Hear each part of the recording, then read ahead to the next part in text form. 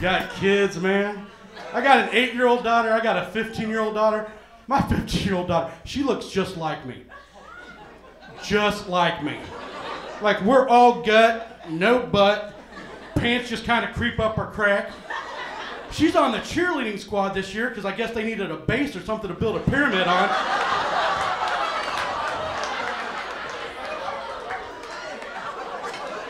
No, for Christmas, she wants the sweatpants that on the back they say cheerleader. I'm like, all right, I'll buy them for you, but you need to go in the dressing room and try those on. She comes out of the dressing room, she turns around, she's like, hey, Dad, what do you think? I think they say cheddar.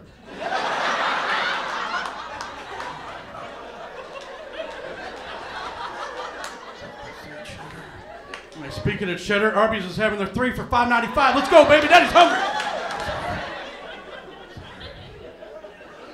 My eight-year-old's at that stage. Everything's a question with her. Other day she looks at me like, Daddy, why do girls have boobies?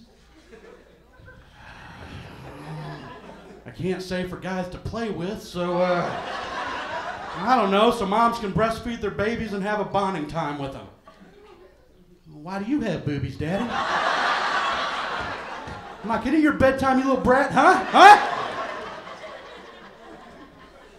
Took my kids to church on Easter. Communion tray comes by. My eight-year-old looks over and she's like, Daddy, Daddy, I want some.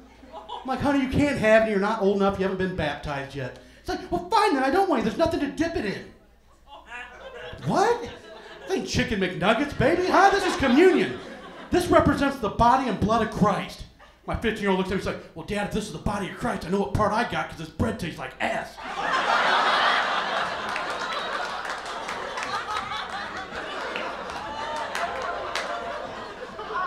We won't be going back to church anytime soon.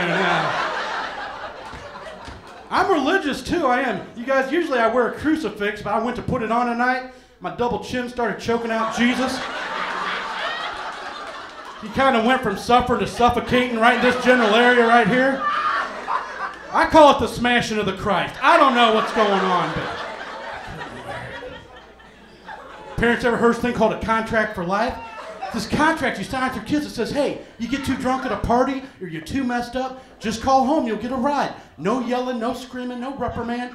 Yeah, that's true, because when I showed up at the treehouse and she'd wrecked the Barbie Jeep, Kool Aid coolers all over the lawn, I didn't scream at her, I didn't holler at her. I scooped her up, took her home, put her to bed. That's what a good parent does. But when I need a ride home, this is all I hear. Dad, you're bending the handlebars on my bicycle. Dad, you're flattening the tires. I can't see past your big boobs.